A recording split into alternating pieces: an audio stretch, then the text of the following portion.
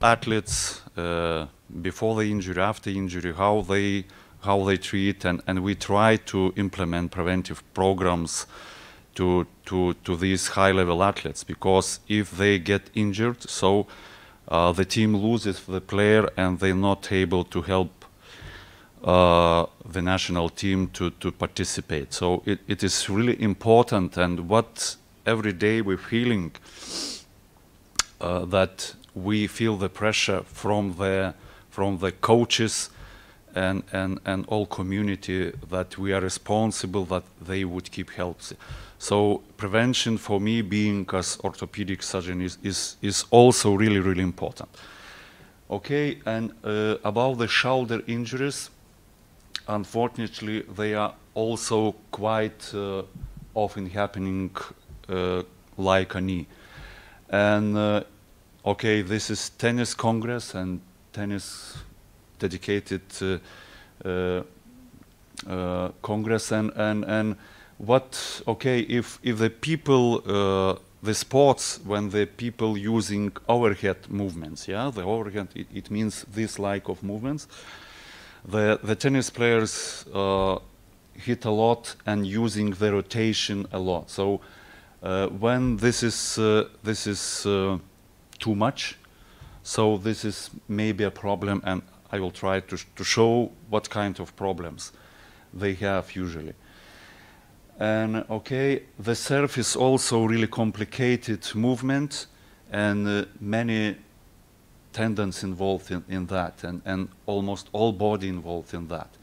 What is important uh, in overhead athletes that external internal rotation and usually when the, when we have internal rotation okay we, we go with racket in internal rotation this is much more stronger compared to external rotation. And, and if we have imbalance of between external and internal rotation, this is maybe a problem. So uh, the athlete should keep in mind this, this rotational movements.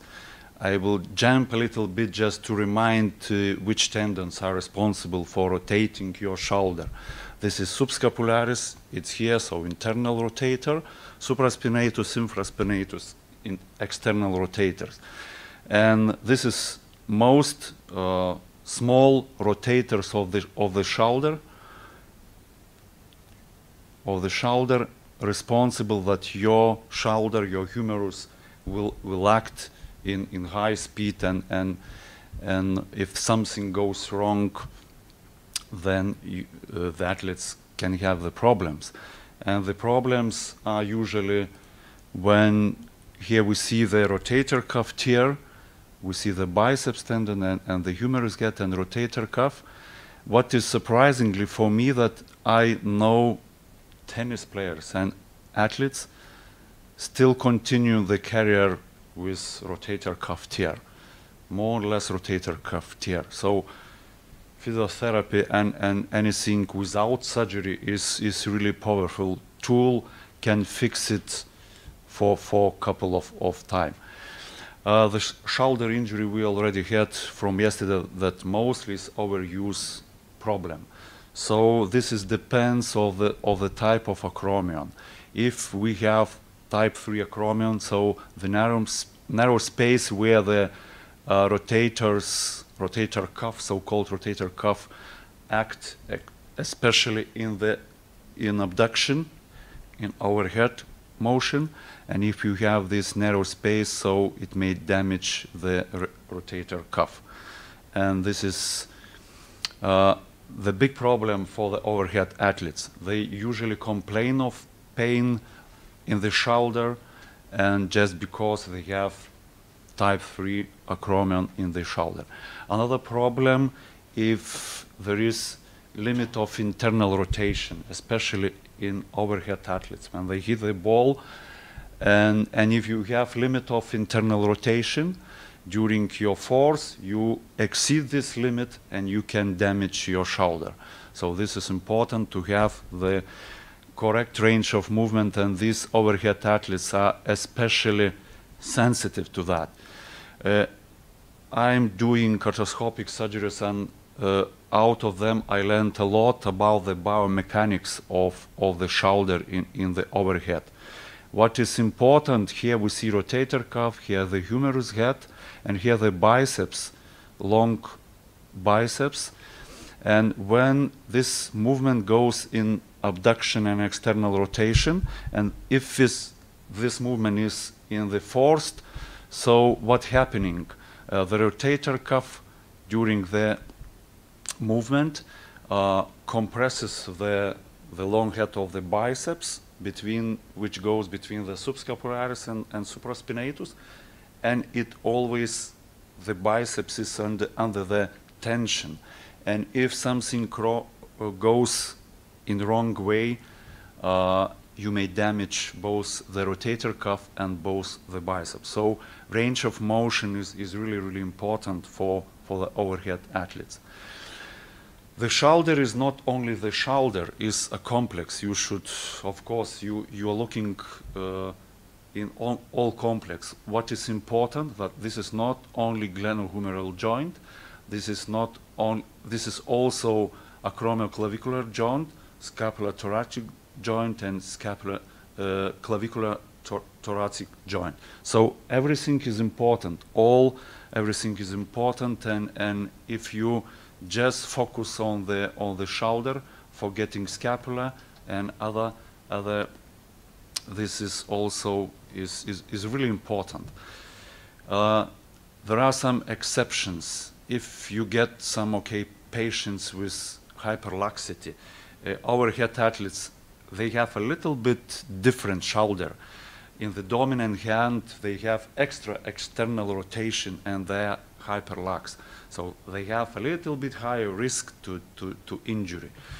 Here we see the lady with, uh, she's able to dislocate the sternal part of the clavicular without pain, just she does it and she relocate. Here we see the hyperlax, he can turn his, so these athletes are a little bit different. And what we see in overhead, I see a lot, we had a, a little bit yesterday, the, the scapula is, is also can go differently and hyperlax is a little bit also a problem. The main two problems in overhead, what I see, as I already showed you, the biceps, here we see the biceps and rotator cuff. So because of, of, of very difficult motions, I do not understand these motions. Though this is really difficult, a lot of ligaments, and in overhead, the, bi the biceps has a st stress under the rotator cuff, and here we we call SLAP lesions. The biceps may tear in in in in attachment place, and uh, together the rotator cuff may tear because they are so close. The biceps and and and the supraspinatus are so close, and usually in the overhead rotation, there is so, so, called internal impingement and, and it may damage and I see a lot of these injuries in overhead athletes. What could be?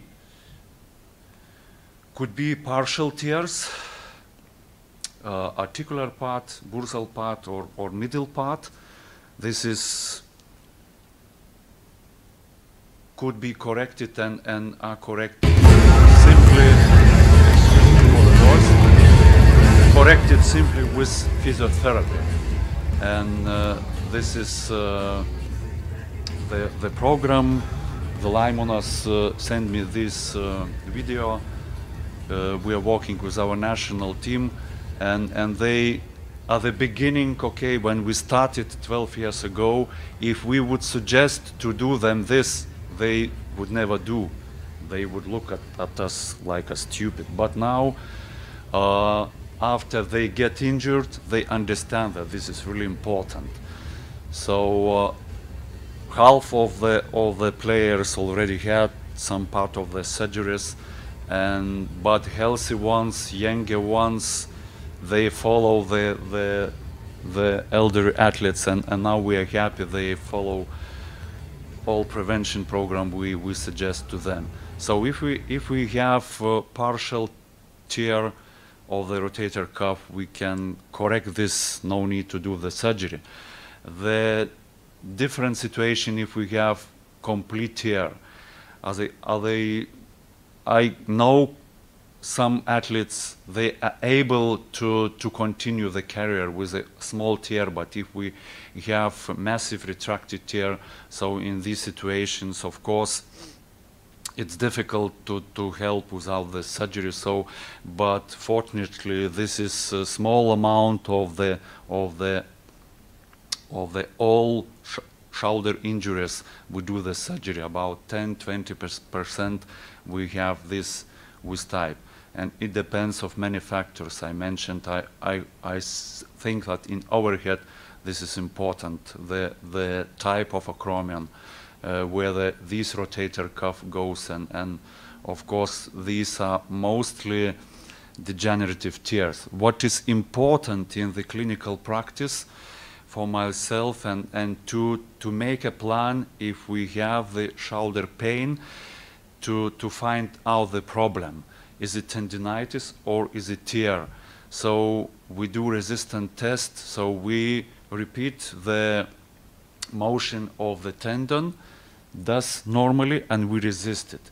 If the athlete feels the pain, so we suspect tendinitis or the small tear or larger tear, then we do injection in that part and if the pain goes out, then we are sure that this is maybe tendinitis and if they're able to resist, then maybe this is not a tear. Then, of course, the more dedicated test, MRI, ultrasound, ca can help. If, if we are not able to have these tools, uh, of course, there are many good diagnostic uh, tools can, can, can have an idea which tendon is involved. Is it, is it uh, for example, infraspinatus, where the external rotator, we just resist external rotation and, and, and we compare both hands. If we, if we feel the, the difference, then we do the more dedicated test. I go through this test because this is, uh, of course, uh, well written in the literature and, and, I hope you use them, them and this is not an issue. Uh, the main problem, how to avoid and what to do that not to get it, but if you get what to do. Uh, if you have uh, partial tear, uh, the main, the first goal is to, to do, of course, uh, physiotherapy. It is efficient in, in 80% of the athlete. In, in other situations, we considering, of course, uh, to take out the acromion, and to do not type 3 but to do type 1 yeah? Because type 3 is when when you go in overhead your your tendons go under the acromion and with time you can tear them. So if nothing helpful we do just simple endoscopic procedure and with the bar we take the, the acromion and then the tendons are free. But this is quite a rare situation. If we have uh, full thickness tear a little bit larger. And if we have uh, biceps instability, so-called SLAP tear, we have to fix because the athlete is not able to continue his career. This is already not prevention, I'm sorry, but uh, just I learned from my surgeries what, what we have to look for. So here the tendon biceps is loose, and here, here the tendon is fixed, and, and then these athletes may, may return to, to previous activity level. If we have rotator cuff tear, also we have to fix it because this is not possible to be professional without the tendons. And sometimes uh, the lesions are really big, we have to implant, and, and the cost for the surgery is really high. We saw the numbers uh, shown by, by Joseph. And, and of course, this is, this is really expensive, better to avoid. And this is possible to avoid. Uh, being a surgeon, I do not know how to do it. I know how to do it, but, but it is difficult to do. Uh, usually what I noted that athletes being young and, and healthy, they do not pay attention to that. We spent a lot talking to them that you should follow prevention to avoid this and this. They told, no, I am strong, I am young, I will never get it. And after five years, they get it, then they understand, but sometimes it is too late if they get, if they get, uh, if they get already fatty degeneration, and okay, if here the rotators, MRI, and if the rotators uh, not fatty degenerated, damage you can help. Uh, if, if we have no fatty degeneration, we can help without surgery. But if there is tear and, and, and, and fatty degeneration, then it is not possible even to fix the tendons with, with the surgery. You have to do other difficult procedures uh, because uh, they get so-called pseudo-paralytic shoulder. Uh, the nerves are okay, but the muscles are atrophic and they're not able to rotate, even to, to, to keep the, to take the spoon and to, to, to live, not talking about the uh, sports. So in, in that situation, we have to, to transfer latissimus dorsi. This is difficult, and they never back to sport. But what is surprising for me, even I see that uh, some of the uh, my friends playing tennis, being in age, okay, between 40 and 50, they even try to play tennis without the two tendons, with the pain, and and uh, then they get arthritis, and and sometimes uh, the, they need uh, later on the, the big, big surgery, but some of them keep playing tennis without two tendons. I don't know how it's possible, but I know them. Uh, another problem with the shoulder is the instability. Uh, here we see the humerus head going out of the glenoid of the shoulder and wearing of the bone uh, because the humerus should stay in, in, in, your, in your shoulder and this is a really, really dynamic joint, the most elastic joint and depending on the tendons and we see more and more shoulder instability, especially in the young athletes. And if they get this situation, they, of course, are not able to, to do overhead activities. Of course, if they have dislocation, first time dislocation, it depends on the on the on the damage of the shoulder, what to do. There are many discussions what to do after first time dislocation. Should they go to the su surgery or is it enough to do physiotherapy to to increase uh, to increase the strength and neuromuscular con control and to avoid the surgery? But the evidence is also powerful tool if uh,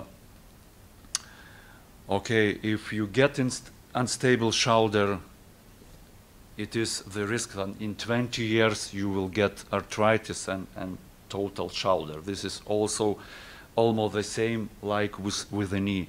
So if you do not do the operation of the unstable shoulder, shoulder uh, or you do it quite late anyway you you will have some kind of surgery in in in type and uh, if you if you wait a little bit with substantial instability you may have not one operation i will show you but more operations and it, this will be difficult in some situations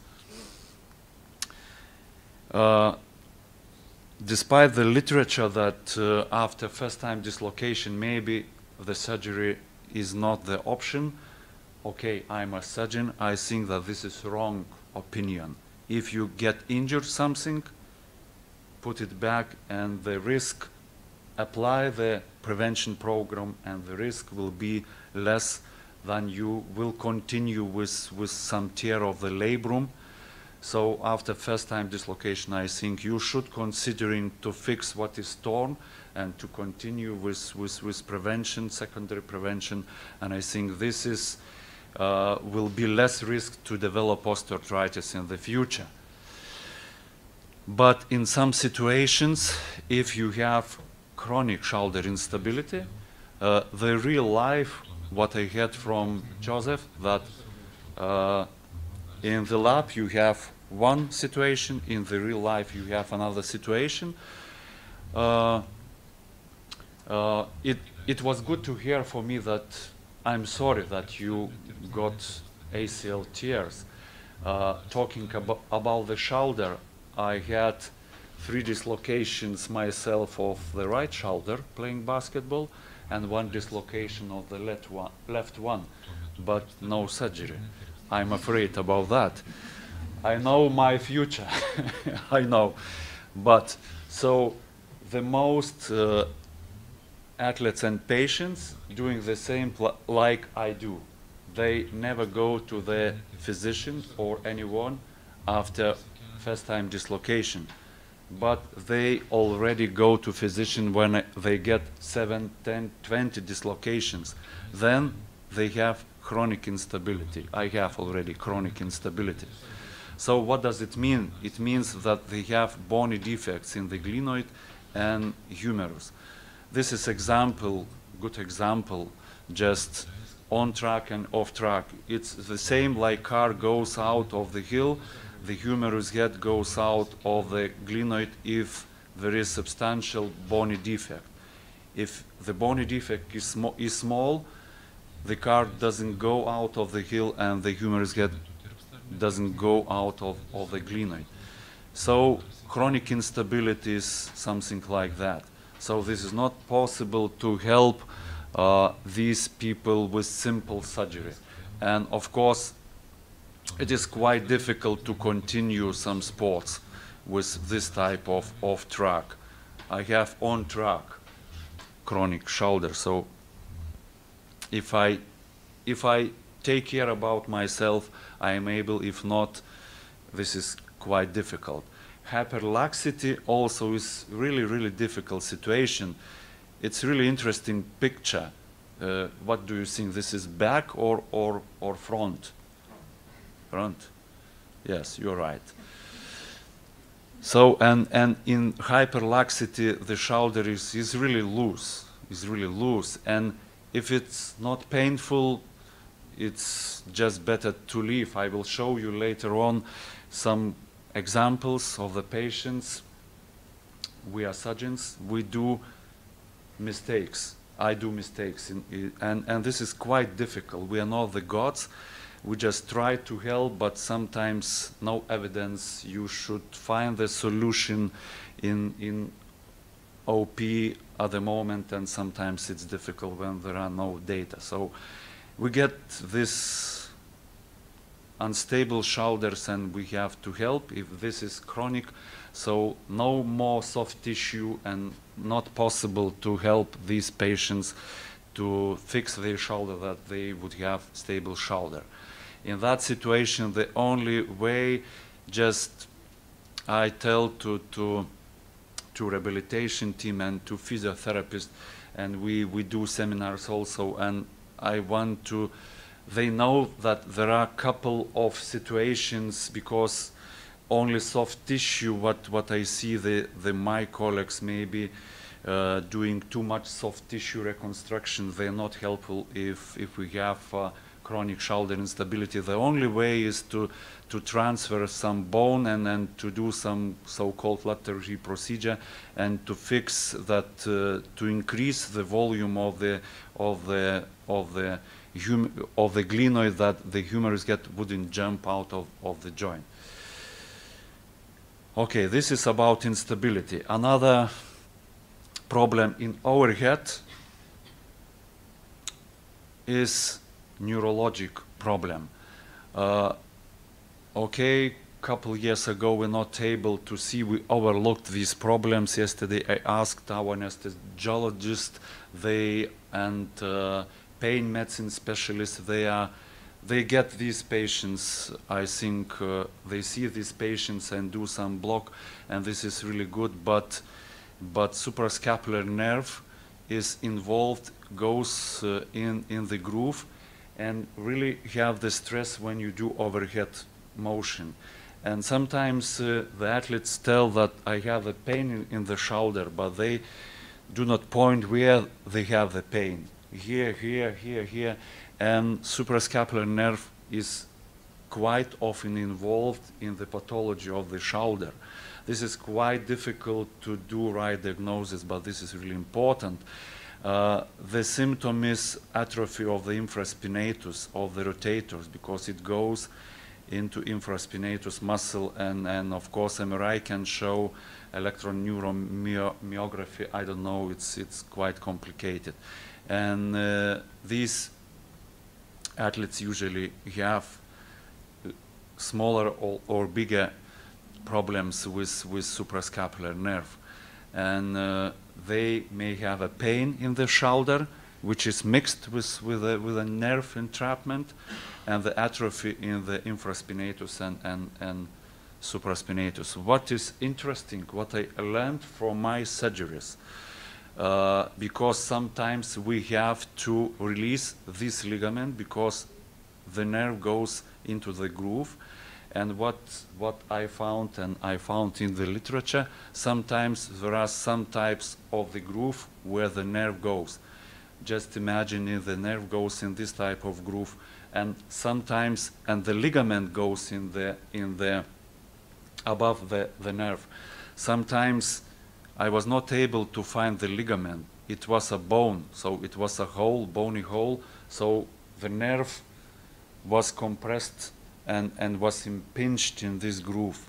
And in some patients, I, I had to take out not the ligament, but to take out the bone. So I think conservative treatment, whatever, it, it's quite complicated. And in, in that situations, after injection, and if the pain goes out, then of course endoscopic release is, is quite, uh, is really efficient for those overhead athletes, just to cut the the ligament where the the nerve goes and, and they release the symptoms. Are they told sometimes I find the bony bridge, not the, the ligament here. Another problem the overhead athletes has the arthritis in the distal part of the clavicle. This is quite often situation also.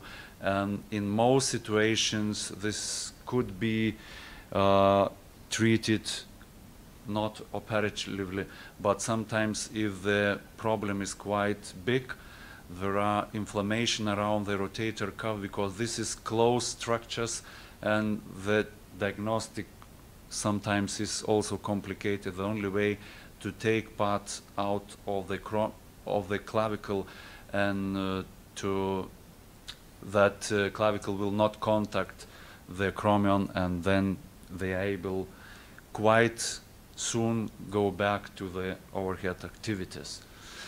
And at the end, I will show some clinical situations uh, talking about the shoulder. The most difficult uh, situation is with instability. The rotator cuff, uh, distal clavicle, suprascapular nerve, is not so so difficult uh, to treat if we get some quite big problem but the instability is, is, is really difficult and these athletes want to be back and, and sometimes we do mistake uh, treating them. Okay, 21 year male had six traumatic dislocations of the humerus then followed with 40 recurrences. Uh, clinical investigation, positive instability test, no glenoid defects, so no bony defects. It seems that this is not chronic shoulder. Uh, on X-ray, not big defect in the humerus, where this part during dislocation goes, goes here. Uh, this is endoscopic view, and, and uh, this is on track, so no substantial bony defect that humeral head goes out of the of the shoulder. But uh, in this situation, the soft tissue in my hands is, is mistake. Soft tissue, uh, just fixation, and the only way is is to do transposition of, of the bony of the bone of the coracoid here, and and to to increase this uh, this volume of the shoulder. At the beginning, it looked that this is not possible to go back in overhead after this type of operation. Yes, uh, they lose a little bit uh, external rotation of five degrees, but anyway, the shoulder is stable, and and they are they are. It, it is a possibility to, to go back and to to protect the joint from the further arthritis. Another clinical case, 17 years old female swimmer, swimmer, three recurrences. She used to be professional and she is also hyperlax. I'm afraid about this type of patients. Being younger, I, I was a little bit more brave to doing some surgeries, but I will show you this history. And uh, I did arthroscopy. I found healthy shoulder, no ligament tears, everything correct with, with, with cartilage, no bony defects, but she has three dislocations, was not able to continue his professional swimming. So we did so-called plication. We, we did some, okay, correction of the of the ligaments, we tried to, to, to put them closer to, to make the shoulder more stable. But after one year, she dislocated again the same, same shoulder. Of course, she stopped the swimming. And after two dislocations, she got the bony defect. And then she got uh, transposition of the of the of the bone, so-called Latarjet procedure. So in that situation, if we if we have hyperlax patients, we're not supposed to do the soft tissue procedures just to do to do more sophisticated procedures. And after one year, she dislocated another shoulder. So almost the same like with ACL. If if the athletes have torn one knee ACL, they have a risk another, especially in the hyperlax. And she got Latarjet. Of course, she's not more professional, but she has stable shoulders. Okay, and the last uh, patient, uh, 12 dislocations with bony defect in the humerus and bony defect in the glenoid. Of course, now we learn that we do bony, bony procedures. And uh, what is what I see that in, in that situation, because this is quite difficult procedure and, and, and, and uh, the mistake to do the soft tissue, just I wanted to show that if you get the patients with soft tissue procedures after after dislocation, you have to, to a little bit to, to be aware what kind of procedure is done.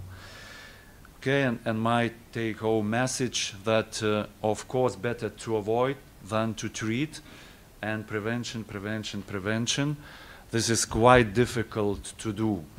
And we heard from two previous uh, presenters that there are quite powerful tools for everything but quite difficult way to do it, but the, there is way to, to do it. And, and, but sometimes, of course, if you have the severe injury, you have to do, to do uh, the treatment accordingly to pathology. And that's my last slide, and, and thank you for your attention. Okay, thank you very much for the presentation. And now it's the time for the questions. Who wants to ask or... Okay.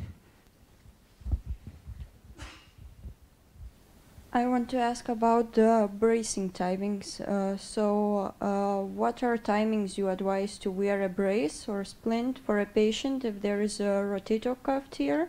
Also, if it is labrum tear, does it differ? And does it differ on suturing techniques if it's one row stitching or double row stitching? Yeah, thank you. Perfect question. Are you a surgeon? no, okay.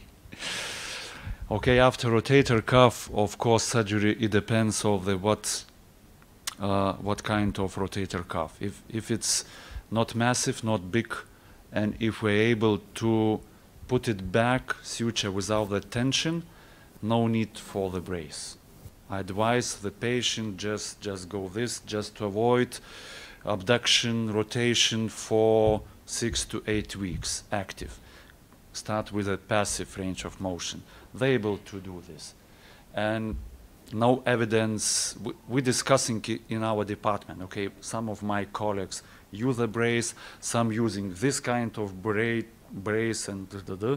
but uh, I I was not able to find the evidence. Is it important for the rotator cuff when, when you fix them without the tension? Another situation and story if if you fix the rotator cuff, massive rotator cuff with fatty degeneration, if you do transposition of the latissimus, then you should put the brace in this situation for six weeks, weeks which is uncomfortable for the patient. If we just fix the two or three rotator cuffs massive, then I put the brace in this situation for four weeks, but I allow them to do passive range of motion next day without rotating, but they need the brace. After instability, if if we do soft tissue repair, what what uh, which is uh, um, surprise comparing with with bony procedure. After bony procedure, no need for brace. You fix the coracoid if if you fix it stable. Uh, the inventor um, of the endoscopic technique, uh, uh, Professor Laurent Lafosse, Thomas knows him. Uh, he's showman at the same time. And when he started, maybe 10 years ago, we learned from him, he showed the video uh, that 10 days after the uh, transposition of the coracoid and fixation, he asked the patient stand on the, on the hands. So no need for brace, but of course you should be, uh, okay, I saw this video, I asked one my patient to do the same, but I never, never ask again it because better to, to keep the brace for three weeks. You can allow them to do like this. Uh, when you take out the stitches, they can improve uh, rehabilitation quite fast. If you do soft tissue operation, you should wear the brace for six to eight weeks. You get stiff shoulder, then it takes time to regain full range of motion. So the rehabilitation of the soft tissue is much more complicated comparing to, to, to, to bone procedure. Okay, yeah, we have more questions. I'm afraid. You, Juozas? I wonder with the shoulder, you talked about laxity Yeah. as a risk factor. Yeah. How much does the technique of a swimmer or a thrower factor in as a risk factor for for Yeah. all of these types of injuries? Yes. Yes, hyperlaxity is, is really complicated situation, and uh, the best solution is to send this patient to someone else.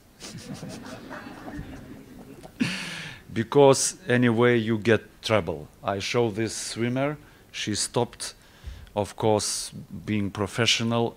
I'm not sure if, if I did mistake uh, uh, fixing soft tissue, not doing the bony procedure. Yes, the technique depends on the laxity, of course. Uh, now there are, okay, it's surprising for me in the prevention how fast it's improving. I thought, okay, I'm a surgeon, I learned my technique, it will be okay for 10 years. No, every year is changing. And for the hyperlax patients also, there are some many techniques to fix it, to fix uh, infraspinatus, so-called remplissage technique, as other, I don't know, techniques to just to uh, to fix hyperlaxity, to do more stiff shoulder. But it's no answer, no evidence, many, many suggestions. It's quite difficult. what uh, I attended one physiotherapy congress, unfortunately, and I saw there that okay, almost epidemiologists did the study, evidence, and they told, I'm sorry, osteotomy, high tibial osteotomy, the operation you got, this is just um, okay. This is just psychological effect. Yeah, I'm sorry. Uh, total knees are just psychological effect. Okay. Every shoulder procedure just psychological effect. So I never go back to any physiotherapist congress. So hyperlax patient, if I I was not able to tell in the audience that, that I'm a surgeon. I was sitting like this because they told no surgery. If you if you do surgery, we will kill you. So I was I was hiding myself. So hyperlax is I think that prevention program should work and I'm I'm sure that they are working. But but Thomas you Well, I'm, I'm glad you addressed the hyperlaxity because I think the same in the knee. yeah. Well, I think you have, we have, you have the normal statistic that 90% are behaving like this. And then I say to the right and to the left you have 5% and you got the, the uh, hyperlax, which is, which is a big problem, which we will never solve because if you can extend, you want to fix it or fixate it in, in zero degrees or maybe 10 degrees, but they overextend. Yeah. So it will be loose again. Yes. And I think soda I is just the with you. same. So whatever kind of Yeah. technique also with Yeah. training you use, I mean, Yeah. this is a problem. Because something in genetic level and we were not well, the able other the other problem is, or, or the other side, the other five percent are the overconstrained people, Hmm. the very rigid, rigid people who have this intrinsic stability where you usually do not need any surgery whatsoever. But the hyperlax, I totally agree. Please go and see another doctor. Yeah. Yeah. So But- it but- might be nice if if patient comes in and you could ask a couple of questions. Oh, your hyperlax? No, we don't do that. Yeah. Yes. But yes. it- it's Thank you. problem. Yeah. Yeah.